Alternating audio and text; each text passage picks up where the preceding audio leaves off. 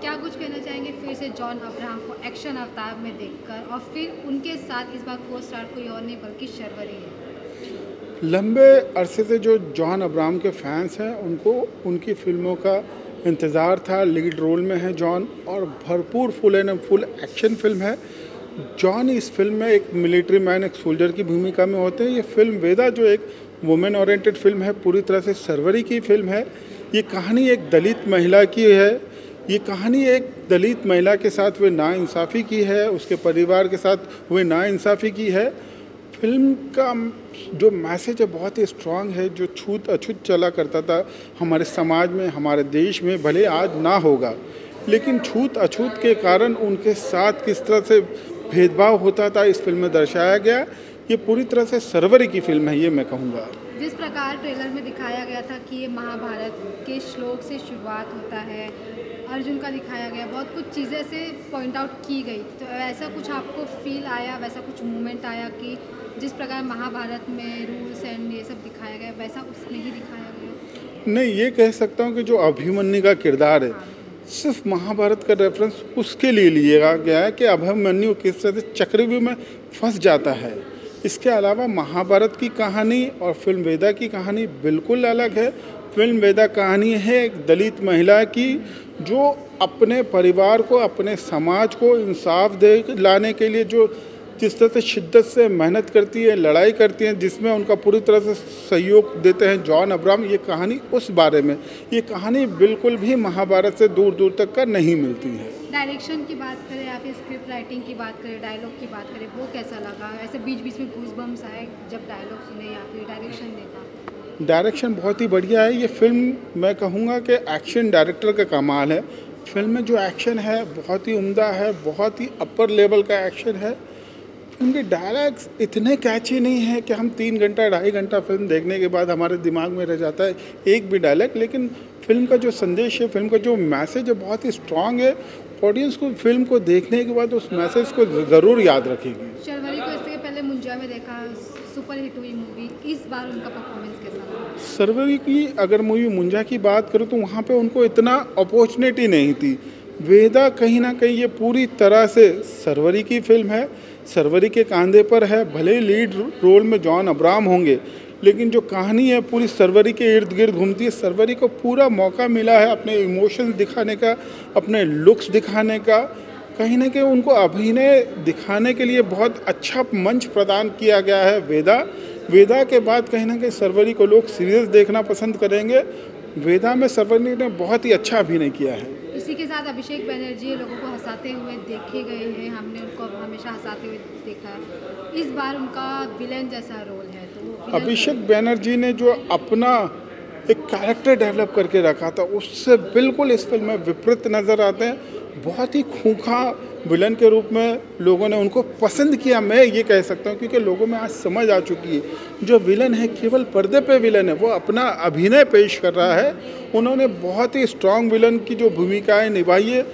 Film के last scene तक कहीं ना कहीं एक बेहतरीन तरीके से जो फ़िल्म का हीरो है जॉन उसको टक्कर देते हैं और उसके नाक में दम करके रखते हैं।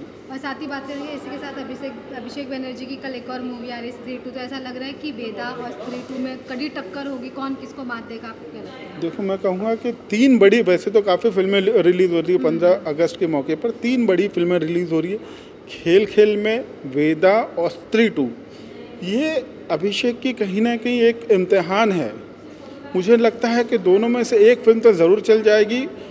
फ़िल्म चले ना चले लेकिन अभिषेक बैनर्जी का जो अभिनय है लोग उसको ज़रूर पसंद करेंगे पाँच में से कितना स्टार देना पाँच में से मैं थ्री एंड हाफ़ स्टार देना चाहूँगा तो क्या कहना चाहेंगे भी आप वेदा मूवी देख कर आ रहे हैं फिर से जॉन अब्राहम एक्शन अवतार Yes, yes.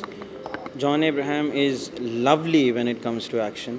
You know, I personally feel that there are very few actors who can actually replicate him or even, you know, think of doing anything that is even near to what he's done. Uh, so, you know, I would say that very few action stars can actually establish what he has established as far as, you know, the Bollywood industry is concerned. So it's, it's a big thing, I'd say. साथ ही एक new chemistry उभर कर सामने आई है John Abraham और शर्वरी तो आपको वो केमिस्ट्री कैसी लगी शर्वरी नहीं जॉन एब्राहम और शर्वे केमिस्ट्री वेमिस्ट्री कुछ नहीं है इट्स बिकॉज़ तमन्ना और उनके साथ पेयरिंग था और uh, इनका तो मतलब वो कोच और स्टूडेंट का रिलेशनशिप जैसे बताया है because he is mostly taking care of what's going wrong with her character नहीं नहीं उनके साथ मुझे क्या मुझे तो बिल्कुल उन दोनों का पेयरिंग पेयरिंग के हिसाब से लगा नहीं सो so, uh, मैं तो मैं तो बिल्कुल भी डिसग्री करूँगा इस बात पे।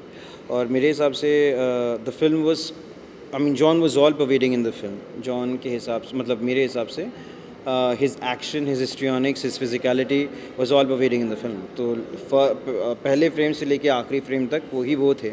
Uh, हालाँकि शर्वरी की कैरेक्टर के नाम के ऊपर फ़िल्म का नाम रखा गया है। Uh, और उस पर कभी कोई बात हुआ नहीं है। That's a big thing I don't know why it was done it was a conscious decision by the makers but then I don't know why it was done because it was justifiable to me personally मैं direction और writing की बात करें तो write up और direction कैसा लगा बहुत ही ज़्यादा खिसा बेटा, बहुत ही ज़्यादा cliched the milieu of the film जहाँ पर वो फ़िल्म बेस्ड है in Rajasthan Barmer anywhere else that matter I am I am an urban guy so I not really I can not really relate myself और can not really it's the film is not relatable to me per se personally so I don't quite I could not really feel one with the film. We haven't. It's not कि हमने कभी ऐसे film देखे नहीं. It's a very cliched film.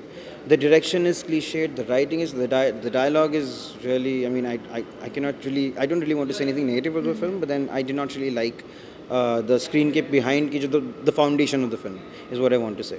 And uh, जहाँ तक uh, you know the the only plus factor of the film was John. मतलब अगर कोई मूवी देखने चाहता है तो सिर्फ़ जॉन अब्राहम के साथ Yes, only only because of him, only because of his histrionics, only because of the way that the fact that he is there in the film. तो पूरा फ़िल्म उनके कंधे के ऊपर even the makers knew it. The film, the film boasts of quite a good character uh, artists. You have Ashish Vidyarthi, you have Abhishek Banerjee, you have Sharwari, you have Tamanna in a very special role, and John is there.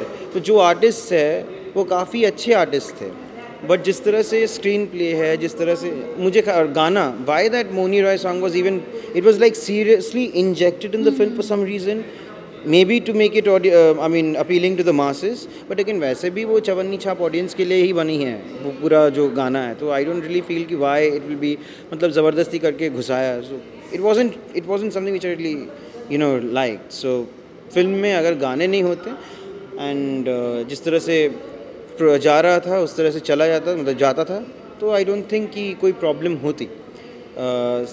जो तीसरी बात है, वो ये है कि बहुत सारे जगह पे, जैसे for instance the action director I not really I don't really think that he really paid much attention to the you know the screen for that matter एक सीन में पूरा जो जो गाड़ी है, पलट जा रही है। गाड़ी के अंदर तीन चार जन हैं उसमें दिखाई नहीं दे रहा कि तीन चार जन है तो पूरा खाली है। वो पूरा पलट रही है और फिर बाद में नेक्स्ट शॉट में दिखा रहे कि गाड़ी में तीन चार जन बैठे हुए हैं। So all these things are there that all of these things need to be taken care of in making the film उसमें दिखाया नहीं है मतलब नहीं किया गया।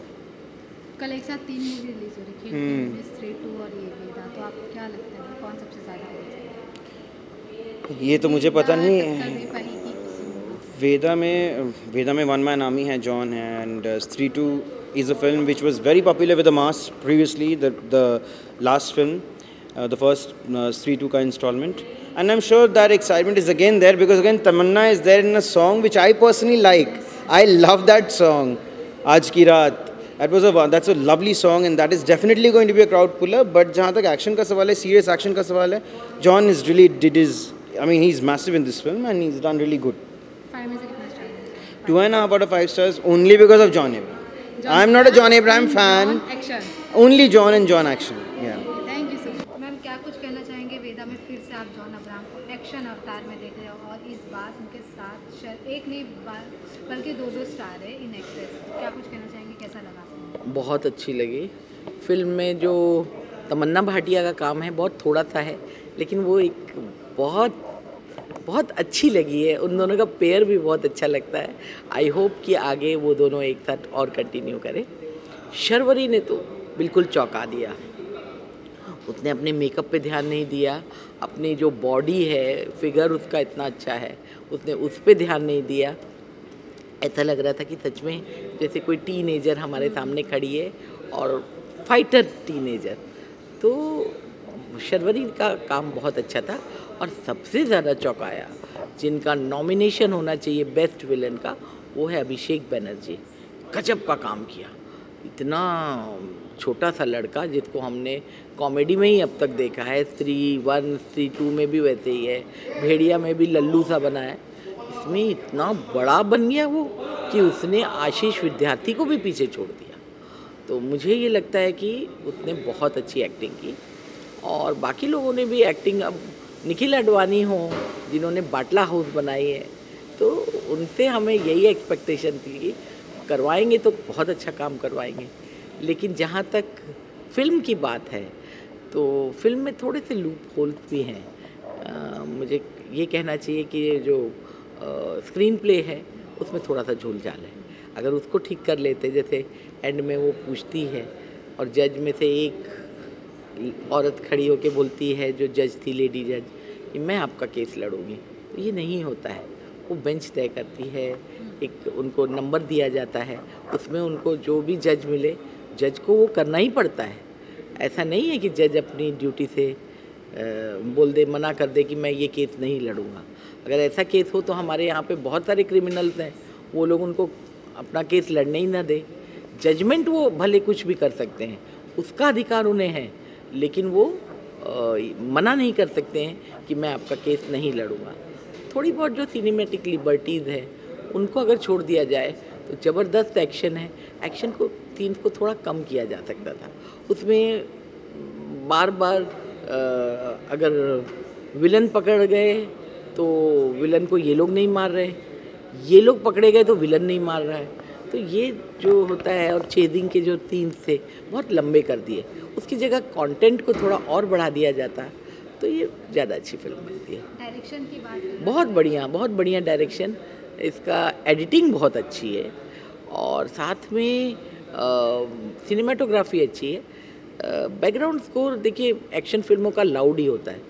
तो बैकग्राउंड स्कोर को हम बोल सकते हैं कि नहीं नहीं बहुत लाउड था बट बाकी फ़िल्म बहुत अच्छी है।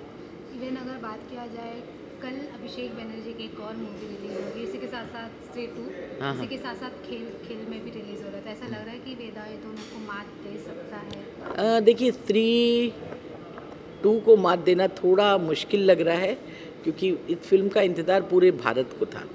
काफ़ी दिनों के बाद आ रही है और सुपर नेचुरल है तो सबको जानना है कि आखिर श्रद्धा कपूर है कौन? तो उसकी बात कुछ अलग है। लेकिन बाकी सब में अच्छी है। खेल खेल में बहुत कॉमेडी थी और बिल्कुल नो एंट्री की याद दिला दी तो ऐसे ही बस कह सकते हैं। पाँच में से कितना स्टार पाँच में से मैं इसे तीन से साढ़े तीन के बीच में देना चाहूँ। थैंक यू क्या कुछ कहना चाहेंगे फिर से जॉन अब्राहम को एक्शन अवतार में देखते हुए आ रहे हैं मैं बहुत दे बोलना चाहता हूँ कि बहुत ही अच्छी मूवी है। काफ़ी लॉन्ग टाइम बाद पठान के बाद अभी जॉन सर को देखने का मौका मिला हम लोगों को तो हम लोगों ने देखा है कि जॉन सर की मूवी फाइटिंग मूवी है और फाइटिंग सीन बहुत ही अच्छे रहते हैं मूवी में जॉन सर की। वन साइडेड वो अपनी मूवी को लेके चलते आगे तक लास्ट तक लेके गए तो शिरवरी का भी बहुत ही अच्छा काम है। सभी का अच्छा काम लगा है मुझे मूवी में। अभिषेक बनर्जी भी है तमन्ना भी है और। शर्वरी को हमने मुंजिया में देखा। उनका एक अलग कैरेक्टर था ये अलग कैरेक्टर है तो हम्म। कैसा कुछ लगा क्या कुछ अलग लगा काफ़ी अच्छा लगा कुछ अलग देखने को मिला और अभिषेक जी तो कॉमेडियन एक्टर है उनका एक ये विलन वाले अवतार में एक अलग ही वो लगा है कि बहुत ही अच्छा लगा है उस लुक में मुझे उनको देख के। डायरेक्शन की बात करें या फिर डायलॉग की बात करें तो डायलॉग जो कि मेन होता है अहम होता है किसी मूवी का तो वो कैसा लगा डायलॉग डिलीवरी भी अच्छे थे। हम्म। मतलब डायलॉग कुछ ऐसे मोमेंट्स आप शेयर करना चाहोगे आपको जो मूवी का बेस्ट पार्ट लगा? जॉन सर का ही एक डायलॉग है लड़ना नहीं आता मुझे सिर्फ़ जंग लड़नी आती है वो वाला डायलॉग मुझे बहुत ही अच्छा लगा और भी काफ़ी सारे डायलॉग्स हैं। डायलॉग अच्छे थे कोई ऐसा वो नहीं था। पाँच में से कितना मैं पाँच में से पाँच रेटिंग देना चाहता हूँ उसको। पाँच में से पाँच? जी जी बहुत ही अच्छी मूवी लगी है मुझे तो। वेलकम